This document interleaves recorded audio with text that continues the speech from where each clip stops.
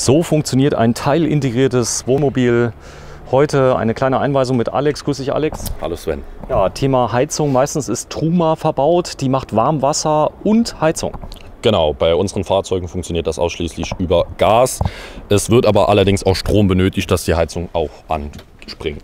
Ja, heute zeigen wir mal die Bedienung von dem Bedienfeld. In vielen eurer Heizungen ist das analoge Bedienfeld mit drin. Da kann man sehr einfach an zwei Reglern einstellen, das warme Wasser, ob warmes Wasser gemacht wird, ob die Heizung geht und wie heiß es sein soll. Genau, also Itrosco verbaut immer das analoge System. Dazu haben wir an der Seite hier einmal diese Nase. Aktuell befindet sie sich auf der Nullstellung, das heißt die Heizung ist komplett aus. Ähm, wenn ich jetzt den äußeren Ring eins nach oben stelle, habe ich einmal 40 Grad Warmwasser. Dann springt auch automatisch das grüne Licht an und auf der linken Seite geht einmal die orangene äh, Kontrollleuchte an. Sobald die erlischt, hat die Heizung auch 40 Grad erreicht und ich kann es ganz normal nutzen. Genau, das Ganze wird mit Gas ähm, befüllt. Das werden wir gleich mal in einem extra Video zeigen. Wie geht man mit Gasflaschen um? Der hat zwei Regelmöglichkeiten. Das heißt also am, am äußeren Ring, wenn du mir den noch mal kurz zeigst, ja. Genau, das ist einmal der. Da regle ich quasi die Funktion. Also äh, oben ist praktisch nur heißes Wasser, 40 oder 60 Grad genau. und unten ist beides. Genau, oben habe ich wie gesagt 40 oder 60 Grad.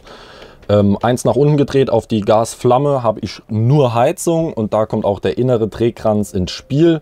Da kann ich dann die Temperatur, äh, Temperatur variieren von Stufe 5 bis Stufe 1, wie man es zu Hause kennt. Ja, direkt daneben ist der Temperaturfühler. Genau, der sitzt einmal hier für die Innentemperatur zu messen. So ist es. Das heißt, wenn es zu warm ist, einfach ein bisschen runterdrehen.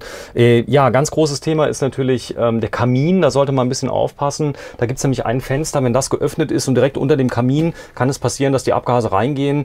Äh, das können wir vielleicht mal kurz von außen zeigen. Wo kommt das Abgas raus, wenn du mal kurz genau. vorgehst? Auf der anderen Seite einmal.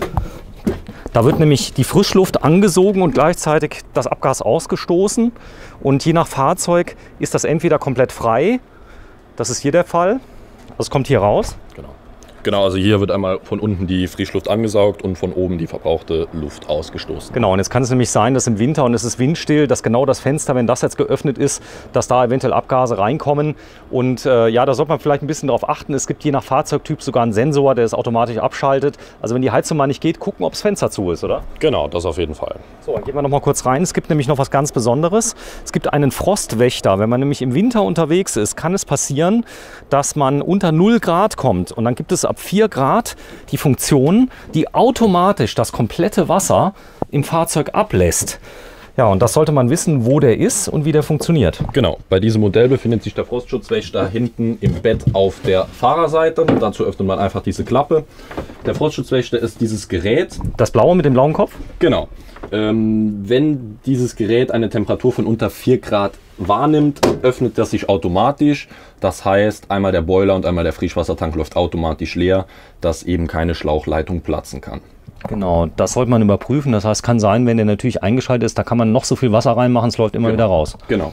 Ähm, um den Frostschutzwächter wieder zu schließen, schaltet man einfach die Heizung an. Das dauert natürlich etwas, bis an dem Frostschutzwächter auch, ähm, bis es wärmer als 4, 5 Grad ist. Und dann dreht man einfach hier oben den Heber, den Schieber wieder in die waagerechte Position und drückt einmal hier unten auf den blauen Knopf. Ah, okay, das ist wie so eine Art Sicherung, die genau. ich dann drin habe. Genau. Ja, vielen Dank.